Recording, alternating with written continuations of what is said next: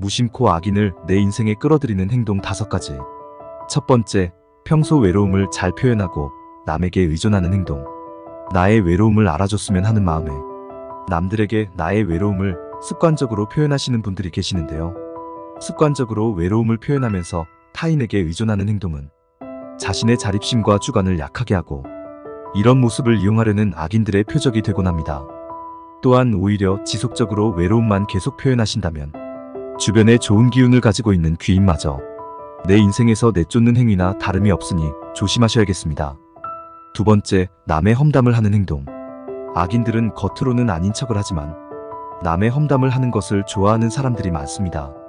구독자님이 남의 험담을 자주 하신다면 주변에 악인을 끌어모으려고 나쁜 기운을 내뿜는 것과 같습니다. 악인들은 남의 험담을 하는 것을 무척이나 좋아하지만 자신들은 착한 사람으로 포장하고 뒷담화를 알게 된 당사자가 소문의 발원지를 찾을 때 용의선상에서 빠져나가기 위해 자신의 입을 통해 남을 험담하는 것보다 구독자님의 입을 통해 남의 험담하는 것을 유도하고 즐기며 희열을 느낀다는 것을 명심하셔야 합니다. 세 번째, 자신의 약점에 대해서 아무에게나 말하는 행동. 타고난 천성이 순수하고 착한 사람들은 솔직한 모습으로 사람들을 대하고 싶어서 자신의 약점도 서슴없이 말하고 다니는 분들이 많으신데요. 물론 타인에 대한 신뢰와 자신에 대한 떳떳한 마음에 상대방과 친밀도를 올리고자 하는 행동이실 겁니다. 저는 개인적으로 이렇게 순수한 분들을 아주 좋아하는데요. 하지만 나의 약점을 언제 어디서나 말하는 행동이 습관이 되어서는 절대 안 됩니다. 좋은 사람이라면 구독자님들의 솔직한 모습에 더 신뢰감을 가지고 좋아할 수도 있겠지만 악인은 그 약점을 이용하여 구독자님을 휘두르기 위해 접근하여 협박하거나 뒤에서 약점과 교묘히 섞인 소문을 만들어내서 구독자님을 괴롭힐 수도 있습니다. 항상 지나치게 솔직한 모습은 악인에게 나의 화투패를 다 보여주며 치는 고스톱 같은 행위이니 꼭 유의하시길 바랍니다. 네 번째, 쓸데없이 돈 자랑하는 행위. 세상에는 제일 쓸데없는 자랑이 세 가지 있는데요. 바로 싸움 자랑, 나이 자랑, 돈 자랑입니다. 그중 나이가 먹을수록 제일 쓸데없고 위험한 것이 돈 자랑인데요. 밖에서 돈 자랑하는 행위는 돈 많은 사람을 노리는 악인에게 너의 표적이 여기 있으니 접근해라 라고 말하며 자신이 직접 홍보하는 것과 다를 바가 없습니다.